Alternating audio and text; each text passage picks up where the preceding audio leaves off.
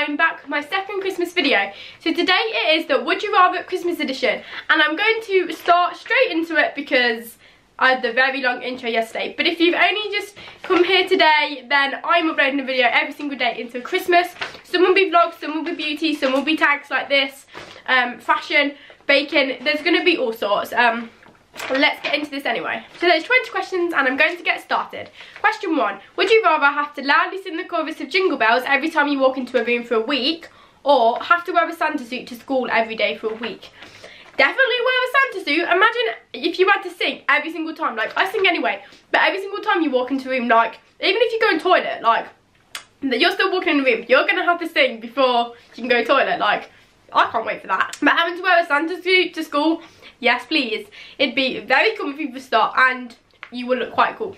And i'm not going to say would you rather before each one because it'll just get so repetitive. Make presents for your family instead of buying them or make ornaments for your christmas tree instead of buying them. I'm going to have to say with make ornaments for my christmas tree because if i make christmas pre presents for my family and friends then and they'd be turn out to be awful presents like i can't make presents like and that just won't be any good but I feel like making ornaments for your Christmas tree you'd probably well you just have to make baubles which they can't be too hard right and a bit of tinsel. Wow you can't really make tinsel can you? But um yeah we're gonna go with the making ornaments for your Christmas tree. Not celebrate Christmas this year or not celebrate your birthday this year. For me that's an easy one. Not celebrate my birthday. I could not not celebrate Christmas if you get what I mean. Like Christmas is the favourite time of my year. Um and I look forward to it all year. Like my birthday I don't really care about. Like I just get another year older. Like it's only me who celebrates that. Whereas Christmas, like all my family and friends do as well. So like it's just so much more fun. And your birthday's kind of one day and it's over with. Um, but Christmas you can hold it out for like a whole two months. Have Frosty the Snowman for a friend or Rudolph the Red-Nosed Reindeer for a friend. I don't swear both of them for a friend to be honest. But I feel like the disadvantage with Frosty the Snowman is you'd have to always be outside in the cold in the ice, in the snow. That's not for me. Whereas Rudolph, he can be in the house or in his like stables, whatever, and yeah. And like Rudolph is the coolest reindeer, so I feel like if you hang out with him, you know, you're in the cool group. Have mistletoe hanging in your bedroom doorway or have a large decorated Christmas tree in your bedroom doorway. I don't I don't see the need for mistletoe. I don't need any, um, but I do see the need for a Christmas tree and I always have a Christmas tree in my room every year anyway. That is like a mini deck decoration like that actually isn't a Christmas tree but I do have a Christmas tree like but you just can't see it. But you will see it if you watch my room decoration tour which I don't know when it's going to go up but it'll go up soon. Have Christmas tree tinsel for hair or have fing fingernails that light up like Christmas lights? Definitely the fingernail fingernails that light up like Christmas lights. How cool would that be? Like your fingers would just be glowing all the time like that is pretty cool. Yeah Christmas tree tinsel for hair now. Like, as much as I like tinsel, no. And then, like, tinsel just be falling out everywhere. Like, that wouldn't be good. Be at home on Christmas and get lots of presents, or go to Disneyland for Christmas but not get any presents. Now, as much as I want to go to Disneyland, I have a thing about we've always stayed at home for Christmas um, and I want to carry that on as a tradition. I just feel like that's where Christmas should be, well that's how where I feel it should be. Um, just with all your family and just where you know there's nothing like nowhere like home for Christmas so that's why we're going to go with that one. Eat your cereal with eggnog instead of milk or eat a candy cane sandwich. Now, I've never tried eggnog and I know a lot of people don't like it but we're going to go with that because I didn't really fancy eating a candy cane sandwich. Like, imagine like mint, peppermint in bread just really wouldn't go and you'd always get the candy cane stuck in your teeth. That just wouldn't be good. So we're going to go with the eggnog instead of milk. Live in a giant gingerbread house or ride on the Polar Express. Um, I'm going to say riding the Polar Express because it would just be such a magical train trip and it would just be so cool um, and it's so Christmassy. Whereas you lived in a giant gingerbread house, I would end up eating all of it. Like, then there'd be no house left, there'd be no furniture because it'd all be gone. Be allowed to only eat fruitcake for two days or be allowed to only eat candy canes for two days. Now, does that mean like you can only eat fruitcake and candy canes that day or does it mean they're the only two days you're allowed to do it? Well, either way, we're gonna go with candy cane. No, if it's the way it's like you can only eat that that day, um, fruitcake because I feel like that would just fill you up more. Um, and again, actually, I'm gonna go with that one if you could only eat it because I don't really eat any of the two. Like, I'm not a fan of fruitcake and candy canes. Well, I do like them, but they just get stuck in your teeth. So I don't really know with that one. We'll just go with the fruitcake one. Write a five paragraph essay about the meaning of Christmas or solve a page of Christmas for your math problems. Now I could easily do both. Like I could write essays upon essays about the true meaning of Christmas, why I love Christmas so much and all of that jazz. Um, but then I do love solving maths problems because if you know me, I do take double maths at A level um, and I do love, I just love solving problems. Um, so we're going to go with that one because it only says write a five paragraph essay and I feel like I could write more than five paragraphs so we'll go with the maths problems. Have a nose that goes red like Rudolph's or have pointy ears like an elf.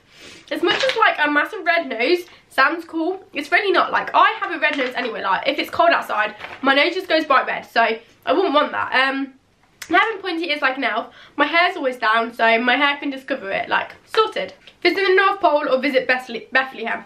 Now I'm not religious at all so we'll have to be the North Pole. Plus that must be like the most Christmassy place in the world. So that just sounds great on all levels. Receive socks for Christmas or receive a dictionary for Christmas. Now I receive socks every single year for Christmas and I love receiving socks so we're going to go with that one. And to be honest if I received a dictionary for Christmas I'd kind of take offence to that. Like do you get what I mean? It's kind of showing you like look you need to open up your vocabulary whereas socks Socks are just socks. Who doesn't love socks? Be given a £100 for Christmas to buy things for yourself or be given a thousand pound before Christmas to use to buy gifts for other people. So I would definitely go with the spend a thousand pound on other people like imagine you could literally buy them anything and that would just be so amazing because I've always wanted to spend more on my family and friends but I just don't really have the money to so my gifts are kind of quite minimal so I definitely love that if I could spend more on other people and I wouldn't want it like I like getting presents from other people like I wouldn't really want to buy myself anything because I don't know, that just not kind of,